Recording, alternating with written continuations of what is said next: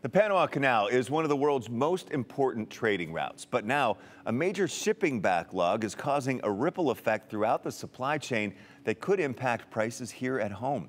NBC's Vicky Nguyen has more. This morning, the Panama Canal, a critical trade route for the U.S., is in the middle of a major traffic jam. More than 130 ships are currently stuck on either side of the canal, with some vessels waiting for weeks to enter. So, what's behind the pileup?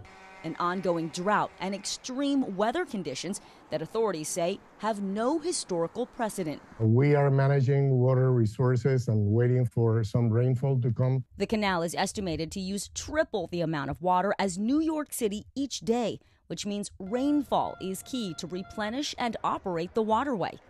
Earlier this month, authorities capped daily transits across the canal to 32 vessels, down from an average of 36 under normal conditions. Most of the ships caught in the backlog are bulk cargo or gas carriers, with many of them headed straight to U.S. ports with popular goods. Most of the things you find uh, at Walmart, Costco, Sam's Club, Target, these ships are so humongous in size that they can be up to four or five times the length of a football field.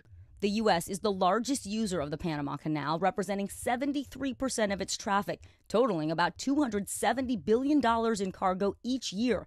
But the low water levels are now taking a toll. Recent restrictions on the canal, including added premiums on heavier ships, are forcing many companies to transport fewer items, potentially leading to emptier shelves and higher prices in stores nationwide. That snowball effect will impact goods that you thought would be here in August, may arrive September, September and October, and that could lead to a small increase in price.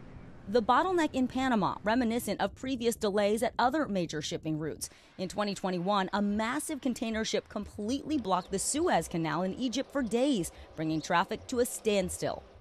Later that year, an unprecedented supply chain crisis left dozens of vessels waiting to unload their cargo in the busy ports of Los Angeles and Long Beach, right near the holiday season.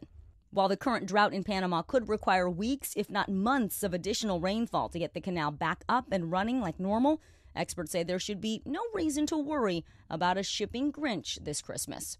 The average um, holiday present that people expect to put under a tree. Most of that stuff will be here when you need it.